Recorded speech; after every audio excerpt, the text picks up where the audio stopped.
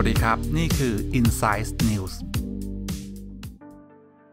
เปิดสาเหตุทำไมคนในวงการต้องขอแฟนจากบีมาติกา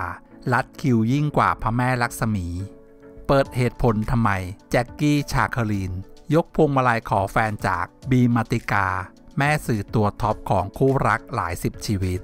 กลายเป็นที่ฮือฮาของโลกออนไลน์กันเลยทีเดียว ภายหลังจากที่นักแสดงสาวสวย แจ็คกี้ชาคลีนมิน ได้โพสต์ภาพพร้อมคลิปวิดีโอ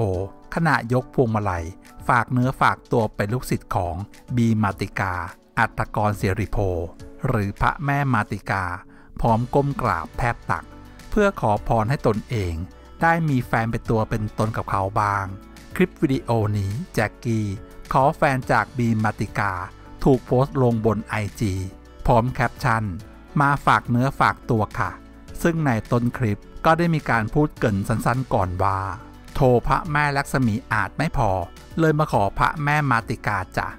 ทำให้หลายคนเกิดความสงสัยว่าทำไมต้องขอแฟนจากบีมาติกา วันนี้มีคำตอบมาฝากกัน ย้อนกลับไปก่อนหน้านี้บีมาติกา และแก้มบุ๋มปรียดา เคยควงแขนเข้ามาให้สัมภาษณ์ในรายการแชร์ก่อนที่สาวบีจะเล่าว่า วันนั้นตนไปงานของแกรมมี่ แก้มบุ๋มมาแนะนำตัวและบอกว่า ตอนนี้โสดอยู่ จากนั้นก็หายไป 2-3 อาทิตย์ ก่อนจะไลน์มาบอกว่า ตอนนี้ก็ยังโสด หาแฟนให้หน่อย ตนรู้จักกับพีทเจ้าของโรงพยาบาล และนักธุรกิจซึ่งกำลังโสด จึงส่งโปรไฟล์ให้พีทพร้อมกับคนในวงการและนอกวงการ มีดารากว่า 4-5 คน แต่สุดท้ายพีทก็เลือกแก้มบุ๋มตนบอกให้พีทเลือกแก้มบุ๋มเพราะ ชีวิตอยู่แต่ในกรอบ เลยจะส่งแก้มบุ๋มไปให้เพิ่มสีสัน แต่ให้ทั้งสองคนไปดีลกันเอง จากนั้นแก้มบุ๋มและพีทก็ไปกินข้าวด้วยกัน คุยกันอยู่สองอาทิตย์ ก็มาขอแก้มบุ๋มเป็นแฟน อย่างไรก็ตามการเป็นกัมเทพสื่อรักของบีมาติกา นั้นบอกได้เลยว่าไม่ได้มาเล่นๆเพราะเธอจริงจังถึงขั้นผันตัวเป็นหนึ่งในทีมงาน เพจหาคู่ชื่อดังอย่าง แม่สื่อแม่ฉัก ซึ่งทำมาได้ 5-6 ปีแล้ว